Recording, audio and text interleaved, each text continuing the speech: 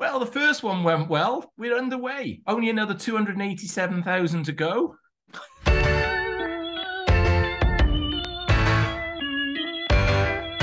Hello and welcome to Talking About. We're talking about season one, episode two, and this is well, I won't do the title.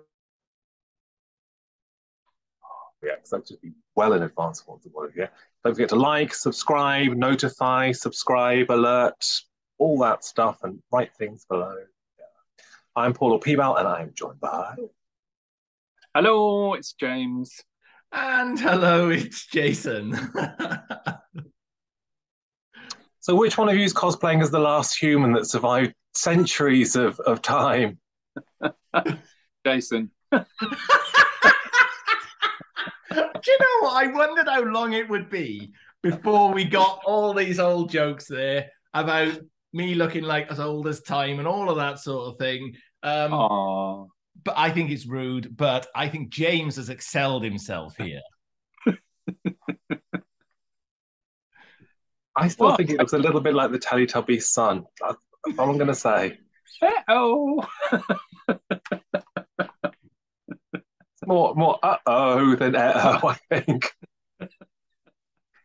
anyway, um, last week on the Talking About, or the week before, depending on when this goes out, we awarded Doctor Who and the Rose 20 points out of a possible 30, that is, folks. Probably not a season winner. Um, well, we move swi- swiftly, so swiftly on to Doctor Who and the End of the World.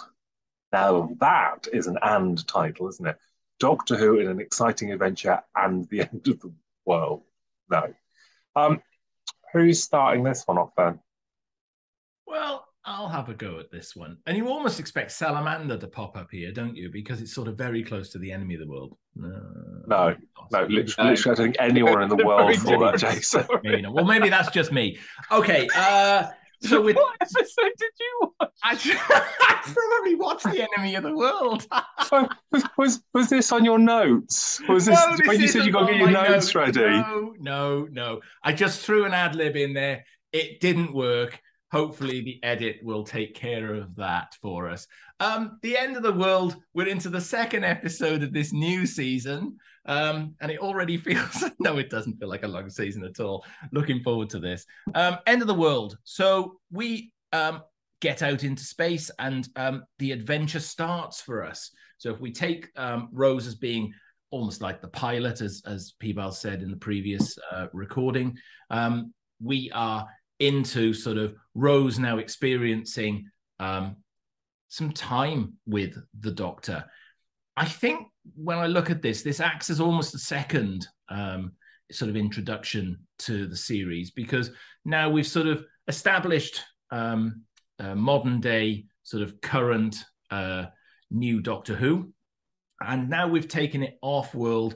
We're on platform one. Um, we're we're right at the further. We're five billion years in the future. Um, the Earth is about to get destroyed, and the Doctor's going to show Rose a little bit of what time travel is about. However, what this does do quite well, I think, and, and helps the format massively, is that um, it, we're now introducing the new viewers, because bearing in mind, not all just classic Doctor Who fans who are tuning in to watch this. Um, we're now introducing the new viewer to the concept of what happens when um, a companion travels with the Doctor. They see new things, they get involved in the adventures. And where we had an established alien to get us going in Rose, um, what you end up with here is a, a motley collection of various alien delegates. Um, now, this could help James's score because he's a big fan of the master plan. So, alien delegates are back here on platform Sorry, one. is is is the monk in this one? No. No. Um, and of course, we get introduced to um, one of um, the campist characters for me, um, uh, James. No, um, Cassandra. So, um, so I think this is a this continues to build on the introduction, really, and I- and in some ways, the sort of introduction lasts for the first sort of three stories um, for me in this season. But this is this is establishing now time travel, different monsters, and uh, companion traveling with the Doctor for the first time. What I love is that, that Jason established that this This is like the second episode of the season. That's like right, the second. that was one of the Feels like the keystones of that intro. This is like the second introduction episode, like the second part of the season. But it's what you expect from me. I'm only playing to the form that you expect. It's Doctor Who, and it's a very exciting adventure in space. It is. Oh, Well, I think that actually was quite offensive. That accent. I do it. It's People offensive. I do it. It's offensive. You do it. It's not offensive. I think that was Oh, cultural dear. appropriation. Uh, you should apologise to the viewer, but okay, we'll move on. oh God, we've got I mean, off yeah, a good they- start here. I mean, Um, essentially, uh, most of the CGI budget is used here because I, I think I remember watching an interview of Russell T Davies where he was like, I wanted to show, you know, every type of alien, really. It's like, you know, we started on Earth, contemporary Earth, it was all about the family and, you know, there was a sideline adventure. But here you are thrown in at the deep end. The Earth is about to to explode and you've got a whole array of different like you say aliens for a new viewer. I mean some of them you never see again you know but it is all about the the spectacle of you know here's a blue alien here's a stretchy bitchy trampoline here's a you know uh um who's the the, the face of Boe is in this one who obviously does um feature later on but you've got the Moxx of Balhoon and all of these. And it, and again you're thinking about merch and you were just talking about um you know Toys R Us after the by the time we got to the end of the first series was full of all the toys. Quite a lot of them were from this episode you know i mean there was there was several different versions of cassandra one that didn't have a face in it you hmm. know one which was like cassandra's face that had blown up Oh, to, to be fair, to be fair, the, the, the destroyed Lady Cassandra from New Earth did did come quite a way down the line. They, they didn't plump that as their, their opening gambit. I, I think we've got to be, be fair on when we say that. But yeah, you do you do get um, a Jabe, don't you, and a, and a, and a and uh, Lady Cassandra intact. intact. Um, but yeah, I mean, again, you know, the the premise of the story. I mean, it's quite. Um, I think, people you mentioned on the last uh, review about the manipulation of the Doctor. It's your first date with the Doctor, effectively, and he takes you to the destruction of your uh, your home planet, which I think is in in, in some sort of twisted way. Bearing in mind what's happened to his home planet, and we're still you know that sort of still trickling through and we find out a bit more in this story to take a human to the destruction of earth in the far future is quite i don't know i think that's quite a almost twisted thing to do and he and there are points in this episode where he he goads her you know she, she has this realization that actually she just jumped on board the tardis with a complete stranger and now she finds herself in the far future surrounded by aliens. And you know there's that moment where she's like did i did i make a mistake? And he's like you know well i'll take you home then. You know it, it, it's he does he, he is quite i don't know it's, it's very subtle but i think he is quite mean to her at some points in, in this episode. Um but then they, they do have the the sort of sparky moments um, where he's where she's like you know when he, when he goes off with Jabe and she makes a comment about it. And and again you get the humor that comes through in this episode. There's um, Cassandra saying about the the jukebox is an iPlayer and you know the, the sort of classic classical music which is for us contemporary music it, it's there's there are some there are points in this um, which are you know again designed for I think the younger viewer to to sort of connect to. Um, but yeah, it's it's it's essentially just a a straightforward Doctor Who story. There's a peril, and the Doctor's got to stop it. So we've in the last story we didn't really see the Doctor do a great deal because we sort of joined him mid adventure. Now we see through Rose's eyes, the Doctor turns up somewhere gets involved, and then suddenly there's a danger that he has to to try and work out. And it's a bit of a sort of Scooby Doo story, isn't it? Because he's not sure who the you know who is the the person behind it. So you know, it's kind of a bit of a fun romp, if you like, but nothing too heavy or serious. I suppose it's a nice subversion because uh, Rose already at the start when he's like, "It's the day, you know, this is the end of the world," and she's like, "What do we do? Do we do get down there and save?" And he's like, "No, no, this is it. It's mm. done." I suppose that's the first proper subversion of that. Um, but I suppose it, it's it's showing the, the spectrum of the imagination. It, it, it is it is the culture shock of the aliens that that's that's the selling point on this, isn't mm. it? Um, which it works and doesn't work in equal measure, I think, with hindsight. I mean, hindsight's amazing. With the Disney billions, they'll be fine. But I mean, essentially, the the face of Boe looks incredible. I love that big ass prop, and that was that looked great in exhibitions, all that stuff. Face of Boe looks great. Jabe, the the tree the tree makeup and all that stuff looks really good. Moxx but there are a couple of background monsters that mm. have sort of very much been been sort of they're, they're, they're stand a bit further to the back because they are a little bit hokier and it's a, it, mm-hmm. it's not it's not a criticism because I, I get that that when you say can we have you know a dozen different alien creatures please for this and you know mm. there's no money and can we have it tomorrow i get that that's that's going to happen but it's interesting that even when it comes to the new stuff there's it's still fighting the limitations of the budget and the mm. time which you you kind of think well, well in 19 68 when they were doing that it's it, it, it, was just it wasn't underappreciated whereas it's still it's still sort of part of the parcel of, of, of, how it was being made even coming back into it that they didn't have the money to match necessarily the imagination they were driving towards it mm. fails it's just there are a couple of those those monsters a Hop Pyleen or something like that where, where you, yeah. they go okay. They were all on the trading cards, weren't they? There, was, there was all the different because you got the trading card and went, what what's this sort of bird-like thing? And it was like it was one of the characters from this episode that you saw for about five seconds.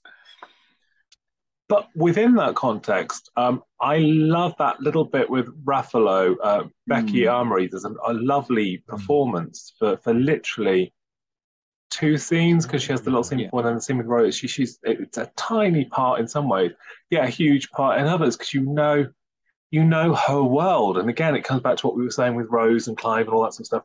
Is that that she's a very incidental character, but if you said this is the character I'm talking about from this episode, you'd be like, oh, the little yeah. the, the, the the woman who's doing the, the the plumbing who gets killed by you'd know what people were talking about and you care when she gets I mean, she's quite brutalized by those little spider things. Mm. Don't quite know what they do to kill people, but there's quite a scream there.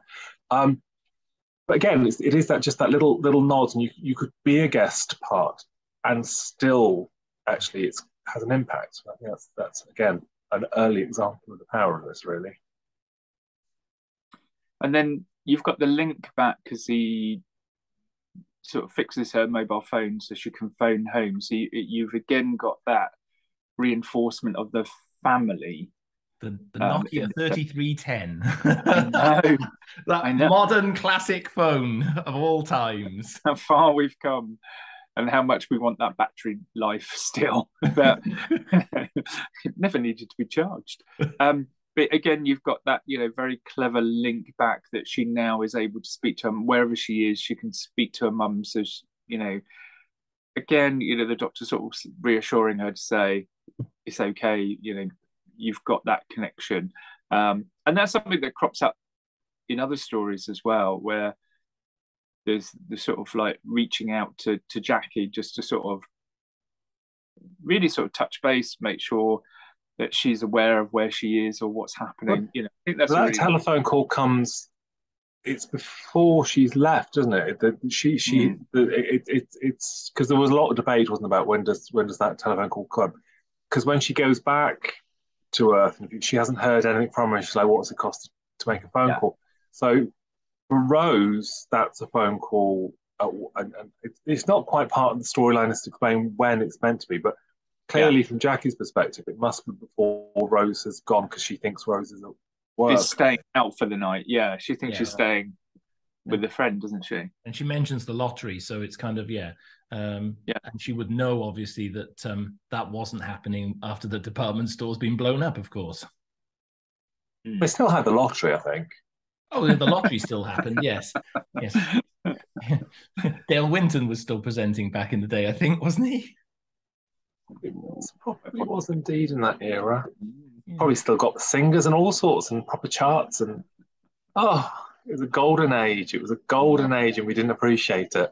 I know. Um, I do love Yasmin Bannerman's performance in this. I think she, she's she's kind of uh, she's got a lovely sort of flirtatious edge when she's playing it. I I, I like that.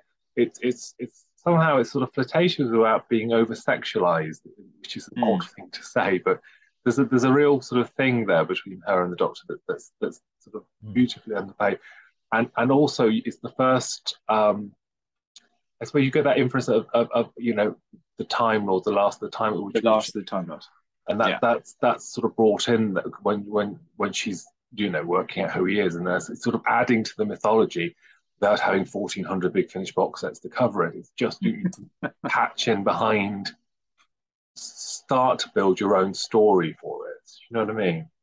Um, I mean, the, the hilarious. I mean, it's quite brutal the way that she, she's killed off. I mean, this series is mm. not afraid to when she she does the the she burns alive, doesn't she? She's yeah. wood. Yeah. Um, and she knows she's going to die. I mean, it's a sort of it's a running theme in, in the thing of people knowingly sacrificing themselves because we get that again next week and we get that again in a couple of weeks mm. time from that so it's quite a running theme of people knowingly killing themselves for for tv's doctor who um, didn't she reappear later on in one of the flashbacks about all the people that the doctors failed to save i'm sure she there's uh, one of the flashback sequences, I think with Davros, and I think they they showed that um, scene again where she burnt up because it's quite. You're right, it's quite a horrific scene although the, the stations the state and again it's a bit you know you you do these indiana jones moments because it's good for the drama but the the swinging things to stop you from getting to the to the reset button it's like who, who in this this era of humanity thought we won't just have it at the end of a corridor in a room we'll have it on a gantry that you've got to balance along and swinging swinging sort of blades to stop anyone doing it it's like no, they were get they were getting ready for the for the possibility of a Doctor Who video game at the time. That would have been one of the set pieces in the video game, wouldn't it? Quite yeah. possible. But it does add to the. Ten- I love the moment of stillness where he just stops and and then he just takes a step forward and and he's through. I think that's a lovely mm. a lovely moment. Um, and it's not really something that they ever go back to or talk mm. about. I think not until you get to sort of Capaldi era when he's talking about his mind and how he processes things. Mm. I think it's a lovely sort of snapshot of him just right.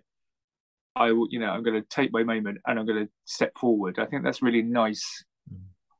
with all the sort of things that are going on around him that he has that ability to just shut off and, and do it. He, but he also knows that he's got to do it as well. Yeah. And you get that nice little under underplay of the music that comes up underneath it as well. It's a really nice, subtle use of incidental to just uh, reinforce, I think, what we were seeing on screen. Mm. So what, what, would we think of the Lady Cassandra thing? And, and, and Zoe Wanamaker, obviously, Zoe, Zoe Wanamaker, obviously, a, a really good name mm. to be in it as well, early doors.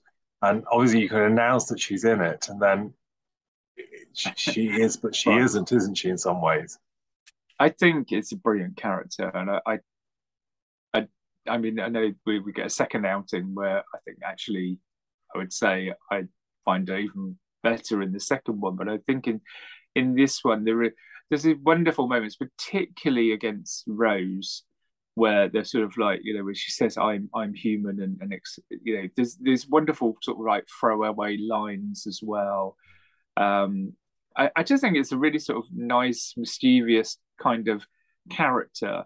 And and you, I remember sort of watching this, going, it's obviously the uh, repeated meme peoples that are the bad guys because they're all dressed in black and they've got massive claw hands and you know they're the ones that gave the spiders out. And and you're so sort of thrown off. And then you've got cassandra who's sort of like being nice and jovial and sort of like look at all these wonderful things i brought from earth but then when she is revealed as the as the villain the doctor is actually really quite harsh. It's, it's you know just lets her dry out and thinks that she's she's dead. He's just like you know no you you've caused all this death and i'm not going to help you. But if you think about what he's seen through the time war and obviously we don't mm. know that just yet this all becomes part of the narrative further on down the line but it the time war clearly has hardened him and that's mm. why he's prepared to do that i mean cassandra as a character is that sort of wonderfully camp almost joan collins-esque approach here she's she's clearly the villain but she's doing it so well. I mean, obviously, I appreciate that you know you don't see Zoe Zoe Wanamaker on screen, but she's channeling through um, the character there, and uh, yeah, there's a definite camp sort of almost bitch here. She's she's the bitch mm. of this season. Well, there's an important morality with the character, though, isn't it? Because when when she describes herself as the last human, and Rose like, well, what happened to everyone else? She's like, well, they spread out, they bred with her. So it's that kind of interesting thing that actually she isn't the last human.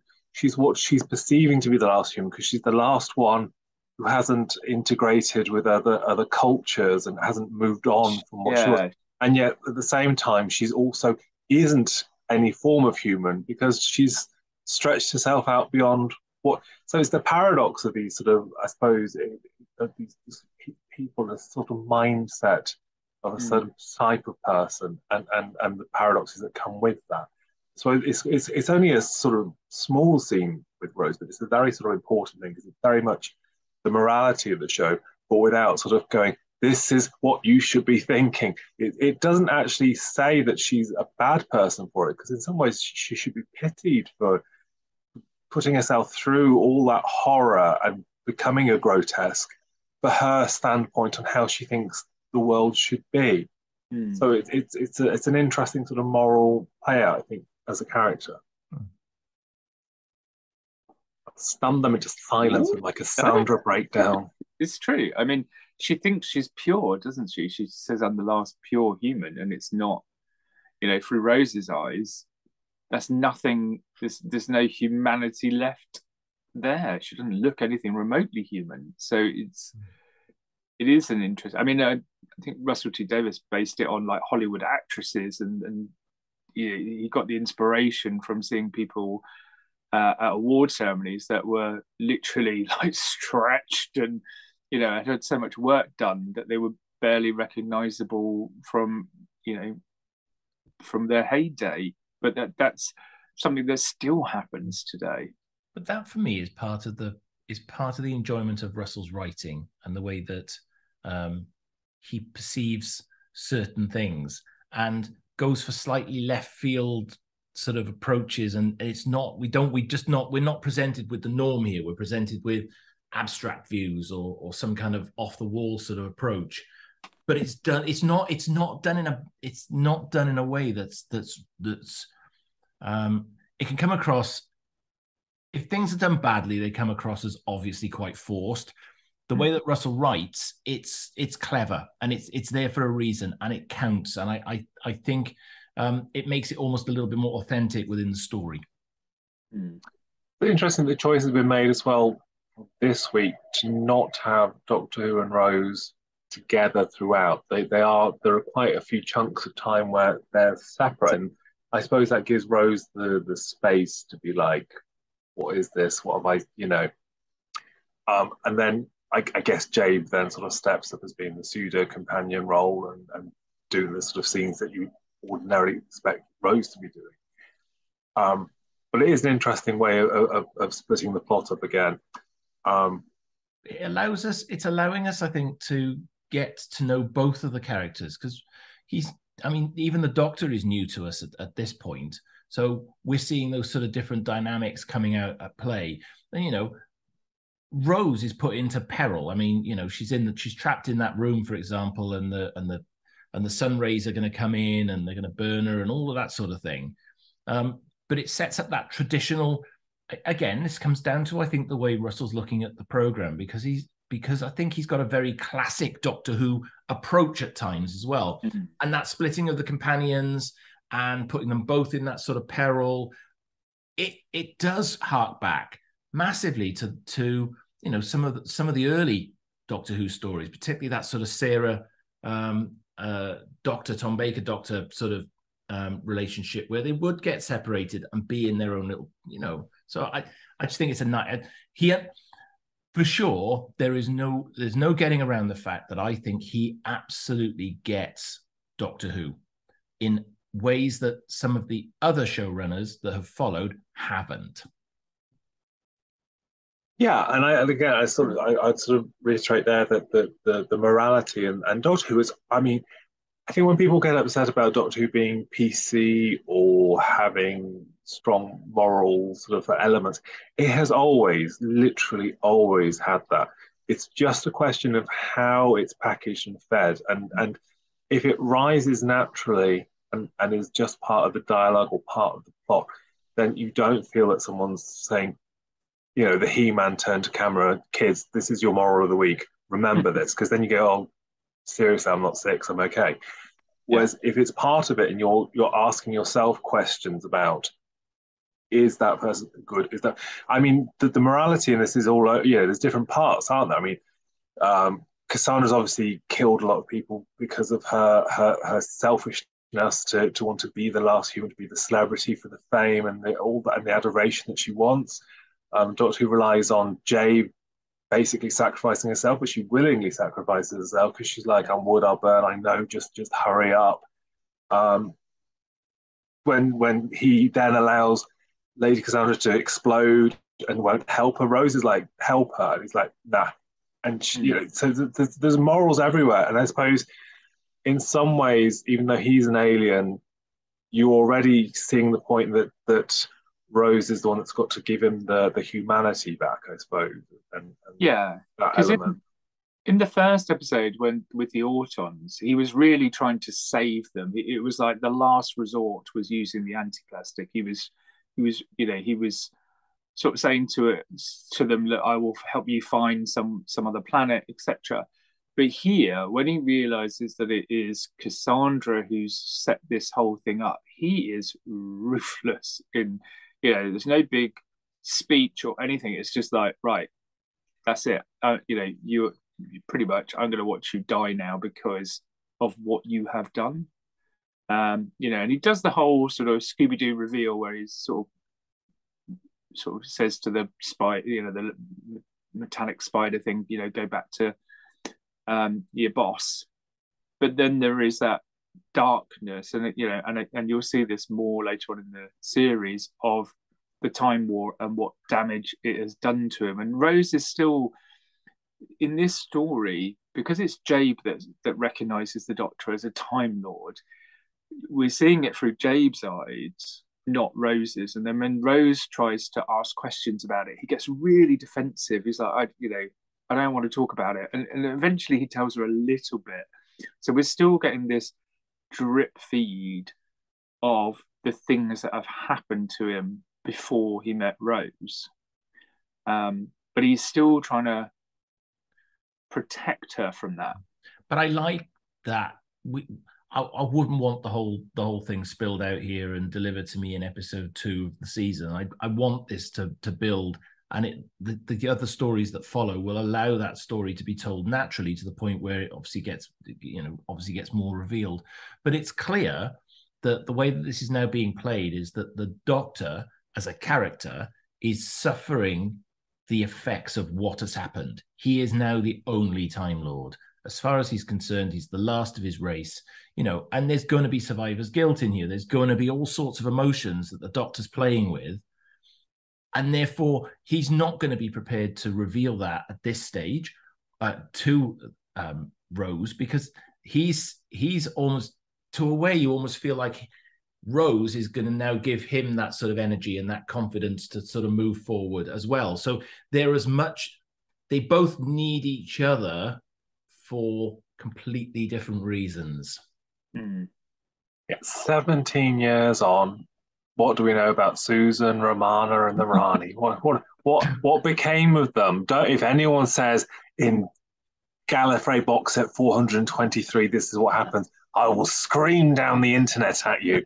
But there's never, there's never been a dress who had the master back, obviously, that he didn't notice was still around and all that sort of stuff. And, Russ, we had a few Time Lord comebacks, haven't we, back and forth. But it was very much the intention, I think, at this point that that it was underlined, wasn't it? This is Doctor Who on his own. Because Mm. Russell, I don't know. Again, I mean, it's, I suppose it's a conversational cul-de-sac, but I think Russell's initial thought was that he didn't want the guys Okay. with the collars Mm. into. He didn't want that setup and the, and Doctor Who being out and about and call back and so sort of trying over Time Lord. I suppose he he wanted to cut all that sort of baggage. Um, which is interesting because because it was it was very much you keep the TARDIS box, the police box, and that stuff. You keep certain elements, but cut away as much as possible from the past. And it's it, it, I don't know whether there's there must be charts on the internet or something, how incrementally season on season as it's rolled, how many more things have been brought back or pulled into it or added to the mixture, and all of a sudden, Mm. all of a sudden it ended up. And I'm not being horrible, I'm genuinely not just being horrible on the new series here, but from from Rose and where we're at here, the end of the world, where it's just like he's on his own. That's it. The man in a box, and uh, to Power of the Doctor, where he's popped back to Earth and he's he's talking about the Brigadier and, and he's got got Ace and Tegan and blah, blah. and you, you know where all of a sudden th- this this it, it's expanded up into that. Um, it's an interesting progression in some ways. Mm. I don't You know if it's a healthy progression. No, You particularly when you. that. Oh, sorry, go on. I was going to say, particularly when you consider that I remember the pitch that Chris was putting forward for um, his his version of what Doctor Who was going to be, and he wasn't at all going to rely on any of the old characters, any of the old things that had gone before. Yet, quite quickly, you know, we had that sort of nice bits with Rosa Parks and all those sorts of things, but it very quickly fell back into that whole treadmill of Daleks and Cybermen and then regenerating Cybermen and all of that. Whereas I think we've got, I think there's a freshness now in the way that it it's being presented by Russell at this stage, obviously early doors, but you know, it's clear he's going to have to reference the past, but it's done in such a, I think it's done in such a clever and intelligent way it's refreshing to go back and see these now compared to I think some of the sledgehammering of what we've had in recent years Mm. um, going on, which Well, don't- don't get me wrong, of. Under Russell T Davies, we get some pretty sledgehammering later on. I think there's an overuse of some of those those things. No, I'm not. I'm not saying. I'm not saying it's. I'm not saying he's perfect. What? Oh no, no, no. But what I'm saying is, you know, you think about what he manages to achieve by bringing the program back in the way that it's brought Yeah, back. oh, I, I entirely agree. I think there is a wonderful slow build to this series where where you're right. It doesn't go, oh, you know, we've got a 45 year old history, a 50 year history. We've got to bring it all in straight away because it doesn't, and it takes its time. You know, even beyond the first series to reintroduce certain elements to to the show. You know, and But And- did you not think though that, that like Russell even coming to the season four, he only did the Cyberman and the Daleks for Doomsday Army. He only combined those once, and, and the Daleks with sort of one. I think he, I think he was incredibly metered with how he used those sort of elements. Whereas in recent ones, it's like the Daleks and the Cybermen and the Sontarans are on a little Snapchat group and hang out together. I mean, it, it it was it was a big deal having the two of them together, and and then now it's just like oh, just down down down the arcade with my mates, the Cybermen. It's just like oh, sh- surely there's, they've got to have their own little individual identities now. now they're watching the master dance as as Mad Monk Rasputin. oh yeah, I mean, it's on one hand it, it's funny, on the other hand, it's Mm. like that's what it's become, and and and and and, and it, I hope you know that that it'll be a new take on the show that we get going forward. I mean, this is a Mm. huge diver, but I'd like to think it's got the same skeleton of this Mm. that it it it, it meters how much it wants to use from the past. Yeah. And and how much it relies on people having watched 16 years of something, or you know, mm. and, and I, I would just like to see that little break where actually it's a story and we don't have to have the Weeping Angels back again and work out where in their mm. chronology it comes. We don't have to have hundred years of backstory of the master. If the master turns up, I mean, you think when the master used to turn up, he would just turn up that week, and it would just be he would be part of the story. Whereas progressively with these things, it's all been a bit like, well, the time before when this happened, this happened, and this happened, and now he's this, and it was like, oh. Yeah. And again, to bring it back to the point, I suppose, is it episode two, series one here. Everything is still fresh, and and, and yeah. the reset is very much mm. working. I think because because you if you're a viewer on BBC One watching this, you are not sat there going, "Hang on, so where do I know? Why why should I know Cassandra's this or that?" And again, bringing about the year after, there's a huge chance that you would understand. If you didn't understand, I think it works without it. But I think you, if you'd seen the year before, you're rewarded that this is a returning character, rather than it being like, why do I know who the Dulcians are or something? Do you, do you know what I mean? yeah, I know exactly. Yeah, I do know what you mean.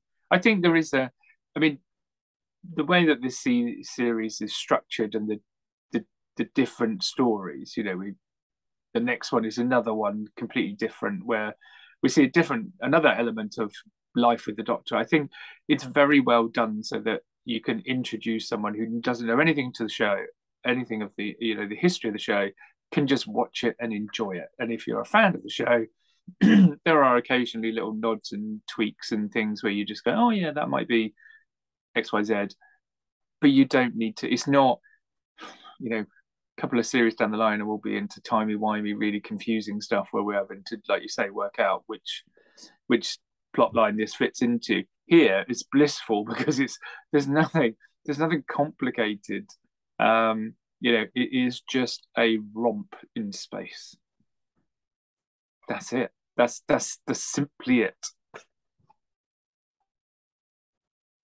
that's what i would have started with that's a romp in space. I think Jason did a very good introduction. It was the pinnacle of introductions that he's done so far.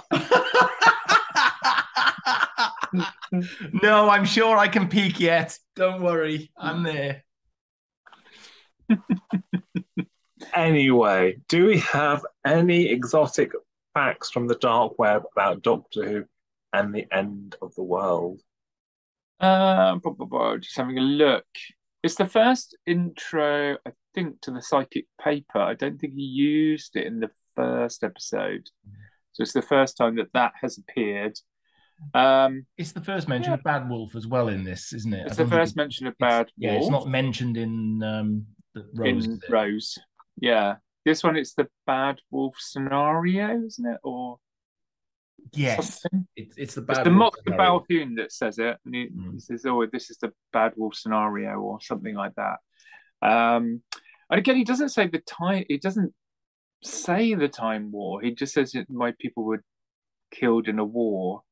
Um, in there was a there was a deleted scene where Ray um, Rabe's scanner was going to show the doctors having two forms of DNA, but that was that was taken out. Um, but yeah, that was it. That was all I had that we haven't already discussed. It's funny because I think that end scene, that end sort of, uh, it's not, it's not quite a mono. The last scene with um, Chris, um, in, in, the street where he's talking to Rose, saying, you know, you, you're all obsessed with the end, of, and it kind of resonated even stronger, I think, because we've had so many years now where we've had Brexit or we've had pandemic or we've had and, and, and I think the news and our culture has sort of adjusted to the next end of the world. I'm not saying things mm. don't impact, I'm not saying that they don't have actual effects, but we have honestly, I think, had several years of everything news wise heading towards this is the end of the world. This thing's happened. This is the end of the world. And it, it's interesting because I, I just thought that, that that end monologue really resonated. It's like you're so mm. concerned with the end of the world. You don't just realize that life just goes on and it will keep going on. And it's ah, that's quite a, a prescient thing. And it, and it doesn't feel shoehorned in either. Again, you know, I think the way it's written in, it's it's it's almost closing off another period of the sort of it, almost the intro, but the words are wise, and it, it again just shows, I think, that that one scene shows again how I think how dependent they're going to become on each other, but how well they're going to perform this together as well. And uh, mm. and, and you know it it fits perfectly into the um into the into the episode as it plays out. Um, I also think this this is the first time, or we'll have seen it, and it'll happen a number of times where you intermix um, modern music um, into an episode, and it works really, really well. Um, where you've sort of got those records that play, and you've got it spun out with that music and the and the, and the effect shots and things. I think that works really, really well from a production perspective. Toxic was a very modern song at that point. Mm. Yeah, it's very popular, popular music. Soft Cell a little bit less so, but yeah, Britney Jean Spears. Were, were you was in quite, the little quite... Christopher Eccleston head bop? he can't get the camera back for his head bop. He's just doing. That. No, I, I, mean they all know I'm going to be doing the old head bop, don't they? They know I'm going to do it. The viewer again. That's another one of those moments where I go, "Oh, Christopher oh. can't do kooky. It's it's a bit awkward." But is he doing that on? But is he doing that on purpose? What hmm. acting awkwardly? Yeah. As in acting awkwardly, awkwardly. He's acting awkwardly at acting awkwardly. Is that what you? Possibly, I don't know. Could be. Uh, I'm not sure. I'm not sure that's true. Although I do have to worry because I, I mean, bless the majority of these when they're they're like in London and it's Cardiff Central. But Mm. the notion that she wants to go get chips, does that mean she's dragging him off down Wind Street? I. That's a, that's a nice thought, is it, for Doctor Who? Uh, Caroline Street. No, on Wind Street where they all get drunk and show off their kebabs. Uh, that's Uh, that's but- um, Caroline Street in, in Cardiff. It's, it's. Wind Street in um, Swansea. Oh, I'm mixing bogs. Yeah, you are. Well, they're both pretty horrific. Hi, there.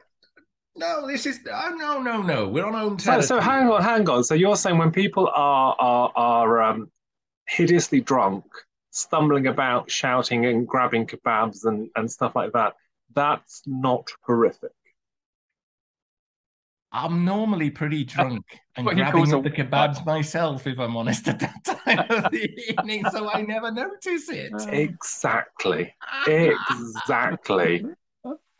if the answer to, to if you say what would Penelope Keith do, and the answer is she wouldn't do it, that's your moral standpoint. I consider my moral compass well and truly told off there. I think it's peaked. I think it peaked a long time ago. Do you know, I'm Oh. trying to avoid using it, and already we're two episodes into this season, and it's it's going to become a thing It's, again. yes, it's oh. So we have peaked. Um, do we have some summaries and scores? Yeah, I'll go. I'll go first. So yeah, I described it as a romp in space, and it and it is. It's like a Scooby Doo adventure in space. It's like who done it? Who you know? Who was the one behind the the sabotage? I think it's very. It's really weird watching it now compared to watching it when it went out. Because when it went out, it was like all CGI. It was like they they really spent some money on the episode. It was all about grabbing the attention of people. And then watch it back now, and what you said earlier on about some of the background characters, it is really obvious. some of some of the CGI, I don't think has as as you know fared well over the years, and I, and I I find it quite sort of like uh what's the word? It's, it's it's a bit much in some parts of all the CGI and it's just like actually probably didn't need all of that.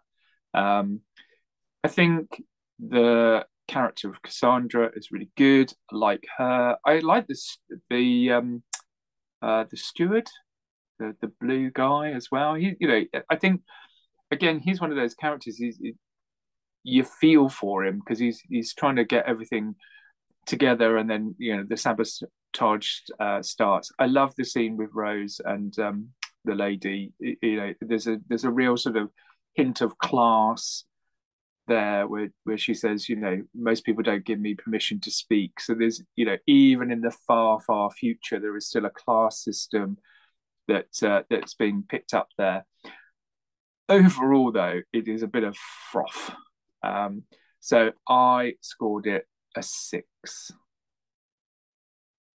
because there are far better episodes. But it, you know, it's it's, it's good to watch. Good to have. Good to have indeed, yes. Um, that's a great summary. Um, and froth is is actually a good starting point for me because it is a little bit of froth.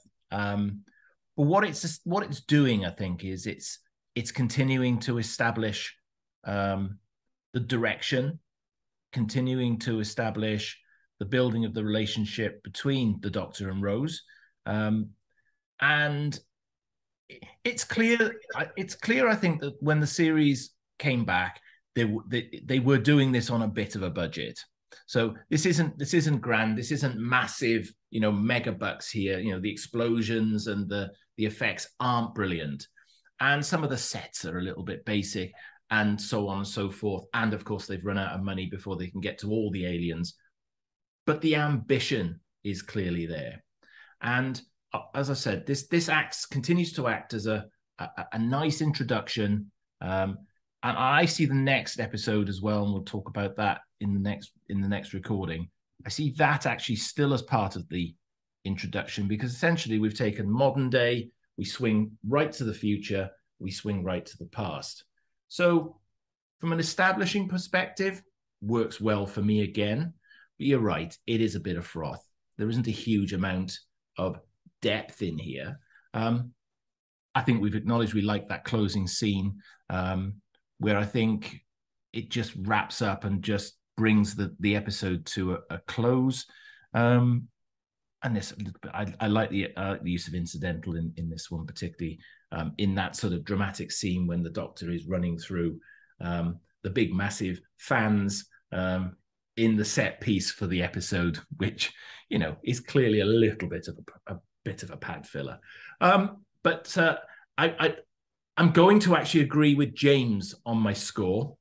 Again, the temptation to go a half up, a half down is is there, but we're not going to play those games.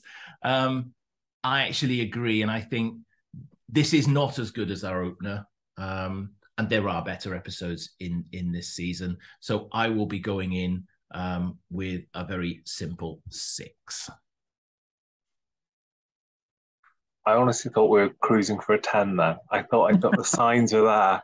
I could see the 10 paddle coming out. I didn't use the word peak or pinnacle in there at all.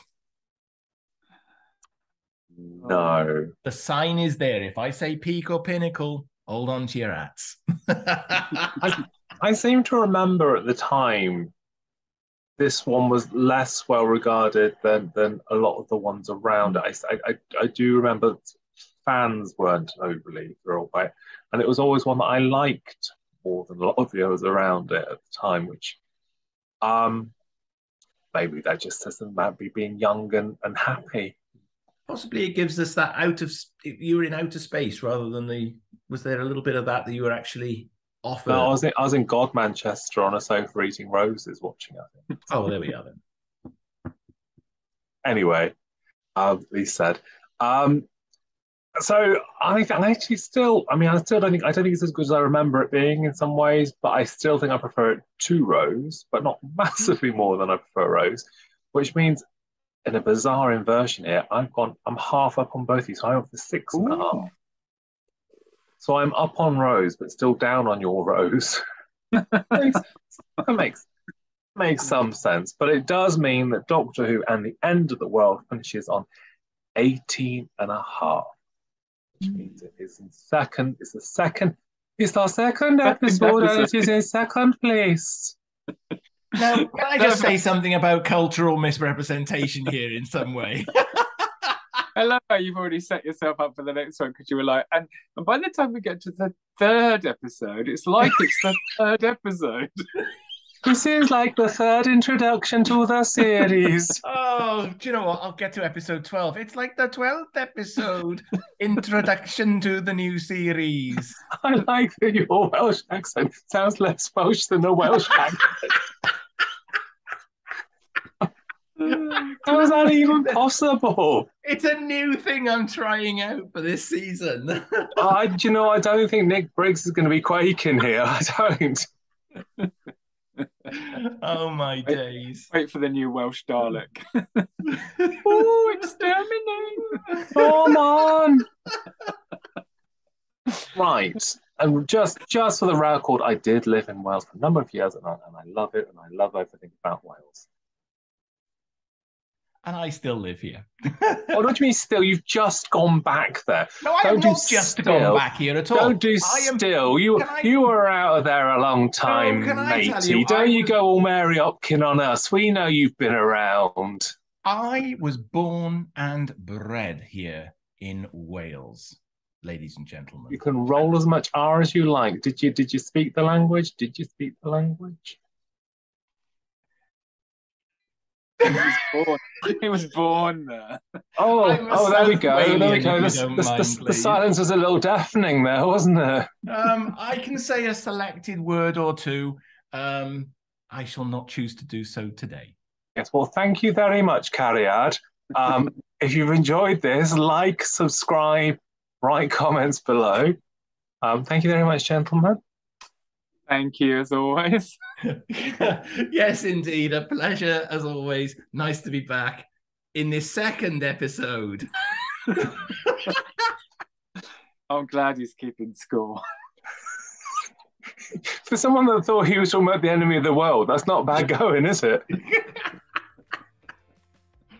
Milton John is really good in this one. Anyway, thank you very much. Like, subscribe, and we shall see you all.